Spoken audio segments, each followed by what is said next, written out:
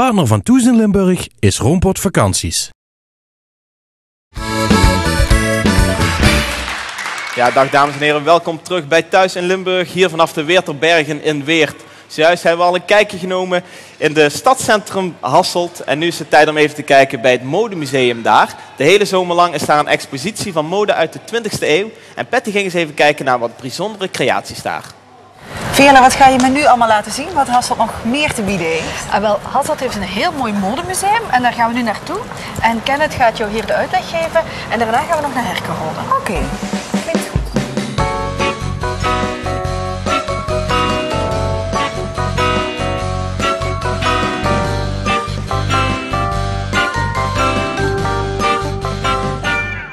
Staan op dit moment 160 silhouetten opgesteld en daarnaast nog een heleboel eh, accessoires. Ik denk een 200-tal ongeveer. En hoe kom je dan aan al die kleding?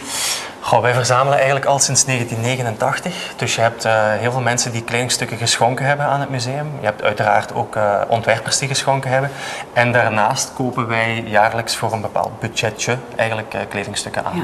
Nou, als ik naar deze jurk kijk, dan denk ik echt aan de Little House of the Prairie, hè, die tijd. Ja, dat klopt helemaal, inderdaad. Hoe weet je nou of deze jurk bijvoorbeeld echt is? Eh, omdat wij daar onderzoek naar doen. Eh, we hebben mensen in huis die daar eh, een heleboel van kennen. Wij vragen beeldmateriaal op van de stukken ehm, en wij nemen dan vaak contact op met de huizen zelf, die dan in hun archief gaan kijken en die op basis van het label heel vaak een vrij precieze datering kunnen geven. Oh, maar Kenneth, deze brengt me helemaal in het Charleston-stijl. Toch? Ja, dat klopt. Dat is een heel, eh, heel mooi voorbeeld van de flapperdress, zoals ze daar tegen zeggen. Flapperdress? Ja, dat waren de flappers, hè, de dames die eh, met het korte haar een beetje à la garçon eh, uitgingen. Met handjes zo, hè, was ja, dat? Ja, inderdaad. Het is een, een jurk trouwens met een verhaal aan. Het is een jurk van Chanel, Gabrielle Chanel nog in die tijd, eh, 1924. Je ziet dat er torentjes op staan, hè, die Ja. kraaltjes. Ja. Eh, de New York Skyline Dress heet die. Is Ah, een vrij beroemde jurk zelfs. Mooi. Er is een heel mooi verhaal trouwens nog bij, want we hebben van, eh van Keira Knightley een aanvraag gehad eh, voor deze jurk. Ze had hem gezien in Londen, net voor wij hem gekocht hadden.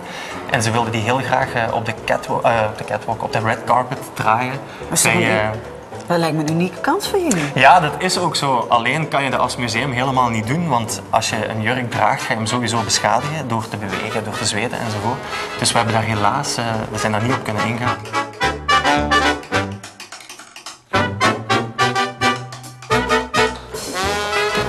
Oh, maar dit is ook echte feestkleding, hè? Ja, dat is eh, allemaal kleding uit de jaren 50, eh, waarbij dat eh, Dior vooral natuurlijk het modebeeld bepaalt. En er een heleboel afgeleiden daarvan zijn. Daarnaast zijn er natuurlijk nog een heel aantal grote ontwerpers. Ba eh, Vat staat hier tussen, Balenciaga staat hier tussen, Madame Cré, Jacques Heim. Maar het heeft iets heel feestelijks en het is ook enorm in natuurlijk, want de jaren 50 en 60 in het modebeeld die zijn eh, bijna niet meer weg te denken. Ja. Dus, eh,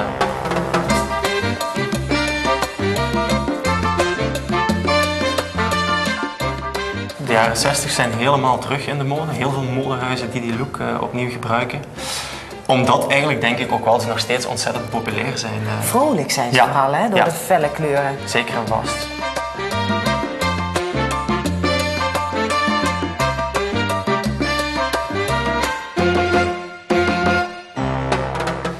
Maar alle jurken die ik zie, zijn allemaal in een zeer goede staat. Maar hoe hou je ze zo mooi dan? Ehm, die worden allemaal heel erg goed geconserveerd. Dus dat wil zeggen eigenlijk dat al de stuks eh, opgeslagen zitten in een speciaal depot. Waar dat de juiste luchtvochtigheid, de juiste temperatuur, donker enzovoort. Is dat zo bepalend, luchtvochtigheid en temperatuur? Ja, ja, dat is eigenlijk hetzelfde als bij schilderijen. Maar dit is echt een mode van deze tijd volgens mij. Ja, dit is onze deelcollectie eh, Limburgse ontwerpers. Dus we tonen hier eigenlijk allemaal eh, ontwerpers die heel eh, relevant zijn. Niet alleen nationaal, maar internationaal gezien ook zeker en vast. Welke namen moet ik dan aan denken? Eh, Raf Simons bijvoorbeeld, die nu voor Dior gaat ontwerpen. Martijn Margiela, Dirk Bickenbergs. Bickenbergs, is dat Belgisch? Ja, ja, is afkomstig van Diepenbeek bij Hasselt. Nooit eh, geweten. nee, heel veel mensen niet. Maar het is daarom ook dat we het absoluut willen tonen. Er zitten een hele aantal echt wereldsterren tussen, zal ik het noemen. En mensen beseffen eigenlijk niet eens dat dat eh, jongens zijn die van hier komen. Ja, nou dat is juist eh, leuk om dat eh, benadrukken dan. Ja. Hè? Maar jullie hebben nu het thema mode van de 20e eeuw. Ja, klopt. Hoe lang blijft dat dan doorgaan? Eh, een zestal maanden ongeveer. En dan wisselen we weer. Dan gaan we weer naar een helemaal ander thema. Dus om de zes maanden kiezen wij voor een nieuw thema. Meestal vertrekkende vanuit onze eigen collectie. Of we belichten een bepaalde ontwerper bijvoorbeeld uit. en eh, dan doen we weer helemaal iets nieuws.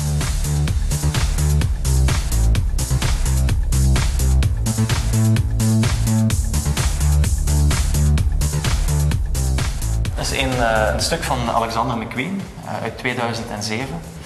Ehm, Alexander McQueen is op zoek gegaan naar de geschiedenis van zijn voorouders en is dan terechtgekomen bij een, een vrouw in zijn voorgeschiedenis die eh, op de brandstapel terechtgekomen is, van hekserij beschuldigd werd. Minder leuk verhaal. Minder leuk, inderdaad. en dan natuurlijk omgekomen is. En dan heeft hij dat verhaal geïntegreerd in zijn ontwerpen. En je ziet dus eigenlijk heel duidelijk de vlammen die erin verwerkt zijn. Ah, zo ja, inderdaad. Ja. Oh, dat maakt het nu extra bijzonder. Ja, sowieso. En in die collectie komen ook heel veel die kleuren van vuur enzovoort terug. En eh, het zijn stukken die echt ontzettend gegeerd zijn. Zeker sinds hij helaas zelfmoord gepleegd heeft, is Alexander McQueen echt wel eh absolute top.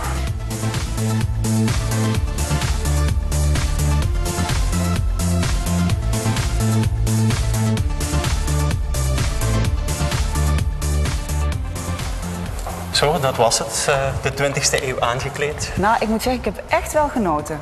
Absoluut. Het was absoluut de moeite waard. Dankjewel. Dus, eh, dankjewel. En, Graag eh, gedaan. tot over een half jaar moet ik Ja, dan zeggen, hè? want dan is weer wat nieuws. Dan is iets nieuws. Bedankt, Kenneth. Tot ziens. Tot ziens. Hi. Ja, we kennen de Alpenzusjes al sinds de jaren 80. Ze zijn zelfs van oorsprong Limburgs, maar tegenwoordig in een geheel nieuwe bezetting. Toch, Chantal? Klopt. Helemaal. Ja, Als want Apollonia en Chantal. De Ja. Alpenzusjes. Apollonia, dat klinkt bijna alsof je echt van de Alpen komt. Ja, nou, als je er Alpolonia van maakt. Wel, dat hoor ik voor het eerst, dus dit is echt een zeer originele opmerking. Het zal best. Ja, maar- Daar geloof ik weinig van. Maar wij komen inderdaad niet uit Limburg en dat is natuurlijk ook heel goed te horen. Maar we zijn wel heel blij dat we in Limburg eh, natuurlijk ons kunnen laten horen. Zelfs vandaag met onze nieuwe single. Ja, de Alpenzusjes is echt al een fenomeen. Dat gaat al heel lang mee. Eh, jaren 80 eh, is dat opgericht. En jullie hebben er nu overgenomen, of hoe moet ik het zien? Ja, dat klopt. Vorig jaar eh, zijn eh, Apollonia en ik eh, ja, officieel de nieuwe Alpenzusjes geworden. En heb je de vorige Alpenzusjes al eens ontmoet? Eh, ja, we hebben een aantal van de Alpenzusjes ontmoet. En we hebben ook contact met eh, echt de oudste Alpenzus. eh, of tenminste, niet echt de oudste, maar wel degene die het heeft opgericht. Carla, daar hebben we nog wel eens contact mee. Dus eh, Ja. het is nu alweer even geleden. Dus we hopen dat ze ons nog steeds volgt. En wie weet eh, dat ze dit eh, nieuwe liedje ook wel weer gaat horen. Ja, maar, maar krijg je dan ook tips van haar? Dat ze zegt, nou als je zo en zo doet, dan is dat extra leuk bijvoorbeeld? Nee, we hebben geen tips van haar. Maar, heb, heb je ook niet nodig misschien? Nou, tips zijn altijd welkom natuurlijk. Maar eh, nee, ze volgt ons eh, gewoon eigenlijk met wat we doen. En we, ja, we zijn een nieuwe, nieuwe versie, een nieuwe, ja, nieuwe look. Een soort metamorfose is het, hè? Want, want vroeger was het vooral eh, veel gejodel. Tegenwoordig is dat anders, geloof ik, hè? Ja, we hebben eigenlijk een eh, breed repertoire. We doen ook nog wel eh, af en toe jodelen tussendoor natuurlijk. Want het hoort toch wel een beetje bij de Alpen. Kunnen jullie jodelen? Ja, uiteraard. Ah, doe, doe eens een stukje. Ja, samen? Yola iri, yola iri, yola iri. Yola iri, yola iri, yola iri. Yola iri, yola iri, yola iri. Zo, wauw, wauw, wauw. Niet voor niks de Alpenzusjes dus. Heel duidelijk. Drie weken geleden hebben jullie een nieuwe clip opgenomen van de zomersingle Na de Costa. Die gaan jullie dadelijk ook hier doen. Hoe waren die opnames? Wat voor een clip wordt het? Ja, het wordt een hele spectaculaire clip. We, ja, we, hebben namelijk, we zijn namelijk, eh, we stappen in vliegtuigjes en we dansen en we staan op het strand. eh. ja, het is zeker de moeite om even te kijken. Dat is echt wel waar. Het is, het is echt eh, ja, helemaal fris en nieuw en ja, Ja. Na de Costa dus, dus van de Alpen naar de Costa. Dus al lang geen winters fenomeen meer, die Alpenzusjes. Gaan jullie ook, ook echt naar de Costa? Je zult het zien op de clip. Je komt binnenkort uit op YouTube. En dan, eh, ik zou zeggen, kijken en dan weet je het. Oké, nou ja, jullie gaan hem in ieder geval nu zingen. Ga alvast klaarstaan, zou ik zeggen. Want hier zijn helemaal vanuit de Alpen naar de Weerterbergen in Weert de Alpenzusjes met het nummer Na de Costa.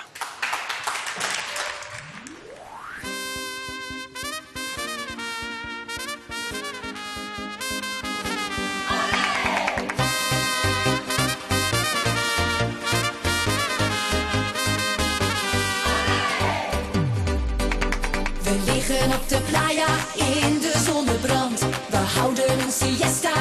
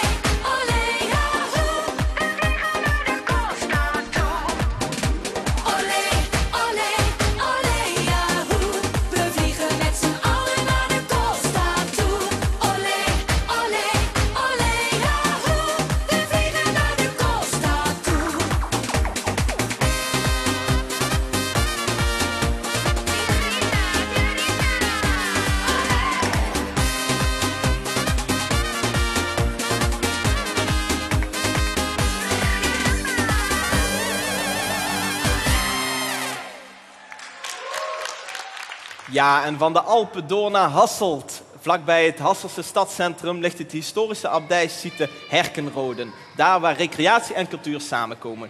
Patty nam er eens eventjes een kijkje voor ons. Veerle, een paar minuten van het stadscentrum van Hasselt vandaan en dan hebben we in één keer iets heel anders. Ja, mooi hè? We zijn hier eh, op de abdijsite Herkenrode. En zoals je kan zien, ze zijn nog volop aan het werk. Is hier de laatste jaren heel veel veranderd. Maar een abdijsite, wat is dat dan? Nou, daar heb ik je niet voor. Oké.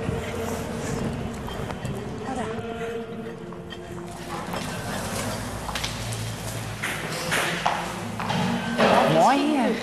Ah, daar is Ginny vast en zeker. Goedemiddag. Hoi. Welkom Hoi. op de abdijsite Herkenrode. Jij gaat me rondleiden hier, hè? Ik ga je rondleiden. Leuk. Ik ga jullie eerst een audiogids meegeven. Ah, we krijgen een koptelefoon. Leuk. En de audiogids, dat is eigenlijk een virtuele abdis.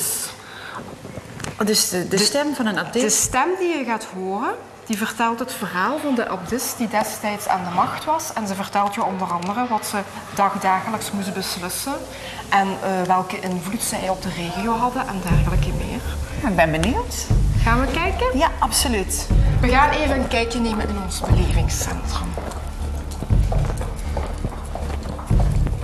Het belevingscentrum is eigenlijk een chronologisch parcours doorheen de geschiedenis van Herkenrode. En vertelt dus die 600 jaar dat die vrouwen hier geleefd, gewoond, gewerkt en dergelijke hebben. Vertelt het op een heel interactieve en belevingsvolle manier. Vandaar dus belevingscentrum. Hier hebben we er een mooi voorbeeld van. Dit zijn waarheidsgetrouwe helmen. Zet er maar eentje op, dan kan je voelen hoe zwaar ze effectief zijn. Maar, oh. Maar je mag ze dus ook allemaal Je vastpakken. mag ze gerust vastpakken. Dat is normaal in een museum niet zo uh, Bij ons kan het wel en is heel leuk voor de foto's. Dus Veerle, als jij er ook eentje Heel leuk voor de foto's. We gaan het gewoon helemaal... Heb je dan ook een zwaard voor ons? De zwaarden die hebben we wel Oh, om veiligheidsredenen Krijg, vastgehangen. krijg je wel eh, stevige nekspieren van. Jeetje, die is zwaar. Ik zie daar wel niet door. Die, oh, maar dan, oh, dan wil ik met jou het gevecht. Oh, man.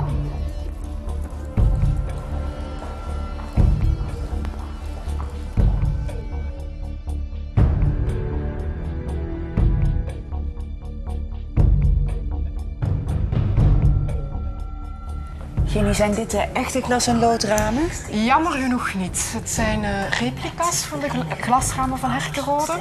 Maar de echte bestaan ook nog wel. Ze zijn iets meer dan 200 jaar geleden verhuisd naar Engeland. En in de kathedraal van Lichfield zijn ze daar nu ingebouwd en zijn ze momenteel in volle restauratie. Wel zonde, hè, dat het dan niet hier gebleven is. Heel erg jammer dat die inderdaad destijds verhuisd zijn, want ze zijn van onschatbare waarde. Ginny, hier zie ik op het scherm vanuit Herkenrode allemaal pijlen over de hele, heel Europa, moet ik zeggen. Klopt. Wat kan ik hier allemaal zien dan? Hier kan je dus perfect opzoeken de invloed die Herkenrode heeft op Europa, zelfs verder. Maar hier hebben we het tot Europa beperkt. Dus als je bijvoorbeeld even bij Nederland gaat Daar ben ik kijken, wel heel nieuwsgierig kan daarna. je zien of welke linken er zijn. Nu komen er een aantal steden tevoorschijn. Het beleg van Maastricht vond weer plaats tijdens de 80-jarige oorlog in de periode van 8 maart tot 1 juli 1579. Wel, wel leuk. En zo kan je dus in heel Europa opzoeken van wat zijn de linken die er nog zijn, allee, die je wereldwijd eigenlijk kan terugvinden. Ik wil alles weten. Nou Patty, je hebt je vast al afgevraagd wat staat die eenhoorn hier overal te doen. Ik zie overal eenhoorns. Ja. Ik zal je even vertellen. Dus de eenhoorn staat aan het wapenschild van de abdij van Herkenrode. Waarom staat er een eenhoorn in? De abdij was een vrouwenabdij. En het verhaal doet de ronde dat de eenhoorn enkel getemd kan worden door een maagd. Natuurlijk waren de vrouwen hier allemaal maagden. en wilden dat zij zou dat, wel moeten, ja. en, wil- en willen zij dat door middel van een wapenschild benadrukken, die kuisheid. Dus vandaar zit de eenhoorn in het wapenschild van Herkenrode. Maar tegelijkertijd zit de eenhoorn ook symbool voor kracht en doorzettingsvermogen. Oh, Kunnen we weer eh, voelen en proeven en ruiken? karwei. Het zijn allemaal kruiden die hier zijn teruggevonden bij de archeologische opgravingen, dus die de zusters effectief gebruikt hebben. Maar dit zijn nu de gedroogde kruiden, Patty. Maar echte kruiden hebben we ook in onze inspiratietuinen. Ik stel voor dat we daar ook nog even gaan kijken. Ja.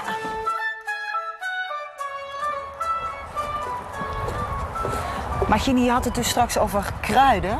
Ja. Maar dit is veel meer dan kruiden. Daarom zeggen we ook inspiratietuinen en niet kruidentuin.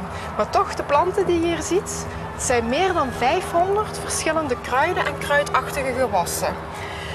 En we zeggen dus bewust inspiratietuinen, omdat we ook heel veel inspiratie bieden voor bij je thuis. Als je een perkje wilt aanleggen, Ja. eh, met bepaald, want eh, verder in de tuin zie je allemaal verschillende grondbedekkingen. Dan kan je perfect ideeën opdoen van, zo ga ik het thuis ook doen. Ziet er heel gezellig uit en ruikt hij lekker veel. die ruikt goed, ja?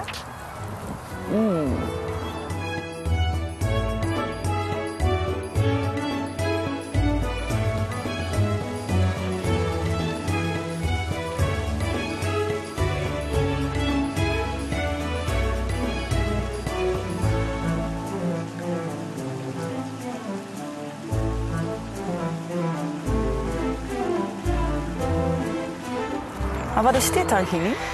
Jij kan door middel van je schaduw de zonnetijd aangeven. Ik door middel van mijn schaduw. Jij helemaal alleen. En wat moet ik, wat moet ik dan Ga doen? maar met je hielen op de datum staan. We zijn nu einde juni. Juni? Ja? En steek je armen maar in de lucht en dan kunnen wij de zonnetijd zien. Het is bijna 11 uur, maar dat klopt toch niet? Ja, maar in de zomer loopt de zonnetijd een uur en een half voor op onze werkelijke tijd. Klopt dat dan, Veerle? Ja, ja, blijf nog zo maar staan. Ja, dan dat hou ik niet heel lang vol. En wij gaan een bier Wij drinken. gaan een biertje drinken. Dag Betty. Een biertje drinken? Nou ja. Hey, tot hoe laat willen jullie me daar laten staan? Dat de zon weg is. Ja, jullie zijn lekker. Hey, het gaat jullie goed, hè? Eigenlijk heb je wel een biertje verdiend. Ah, dat vind ik dan wel weer lief van jullie. En Veerle is weer iets te Ah, dat mag wel, Veerle. Dat is mijn straf. Dames op Herkenrode. Op Herkenrode. Gezondheid. Gezondheid. Heerlijk. Ginny, bedankt voor de rondleiding. Heel erg graag gedaan. super bedankt. Graag gedaan. Wij gaan hier nog even genieten met z'n drieën. Ja, Jongens, even achteruit leunen. heerlijk. Hasselt. Tot volgende keer.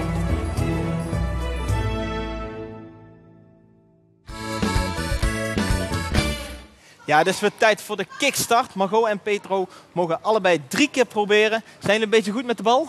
Beetje. Weet je, van bammel is beter. Ja. jullie hebben in ieder geval wel allebei sportieve schoenen aan. Dus dat is al geen smoesje. Wie mag er beginnen? Maar goed, zoals dat hoort, hè? Eerste dame. Oké, ik leg hem neer voor je. We hebben net afgesproken, de verliezer krijgt een fles champagne. Kijk, zelfs geen champagne, zelfs geen wijn, maar zelfs champagne. Champagne. Kijk eens aan, dat doen we het voor, hè? Ik zou zeggen, doe je best. Komt-ie. I- Nou, nee, helaas, het was net mis. Oké, Petro, je mag je dus proberen. We gaan hem proberen. Ja, ga ervoor. Ja, 20. Ja. 20, ja, heel goed. Oké, de tweede poging van Margot. Komt dat schot. Ai, net niet. is toch beter in koken. Ja, Petro, voor het flesje wijn. Ai! Nee. Te fanatiek. Margot, je staat nog achter. Kijk uit dat je niet de baby schot. Oh. En Oh. nu. Ja, oh, nee, dat mag niet. Nou, nu dan echt poging 2. Je moet heel even aan de kant, eh, vriend. Allemaal live, hè. Ja. Kijk uit dat je het goede stelt. Ja. Ai, maar gewoon je best steken op nul punten. Onze fan. Ja, je laatste poging, hoe zat het? De winnaar krijgt een flesje champagne? Nee, de verliezer. De verliezer, oké. Bij deze Margot een flesje champagne. Kijk eens aan. Nou, hier wordt eh, denk ik dadelijk een fles champagne opengetrokken. Wij zijn er morgen weer met onder andere zanger, zanger Wesley Klein en de trainer, de nieuwe trainer van eh, Fortuna Sittard. Kijken dus morgen weer naar Thuis in Limburg.